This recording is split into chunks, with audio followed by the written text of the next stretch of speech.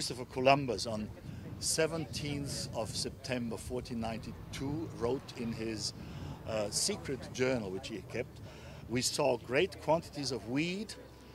It was weed that grows on the rocks and was coming from the west.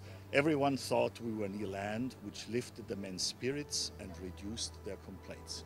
And this is really how it, how it all started. Uh, this is the official discovery of uh, the Sargasso Sea.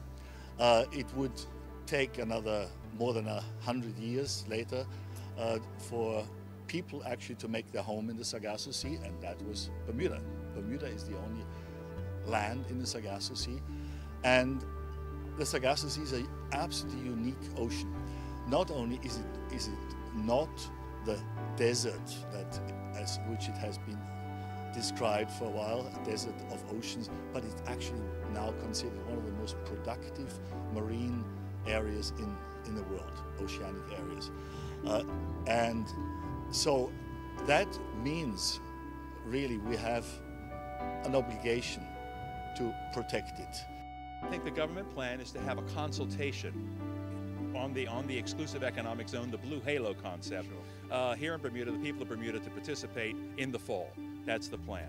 Um, we've heard various numbers in terms of how much of that would be protected, um, and, and, obviously there are different opinions out there.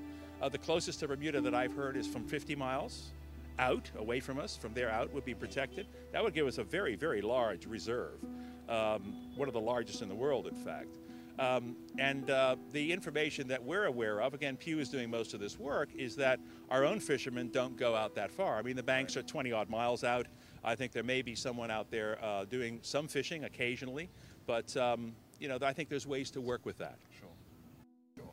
And um, we really also want to thank our sponsors, without whom this would not be possible. We've had two trips on the uh, on the Sea Dragon, two research uh, trips, and we're very grateful. We have the Bank of Bermuda Foundation, Fidelity, and uh, Bermuda Gas, and also XL that have supported this initiative.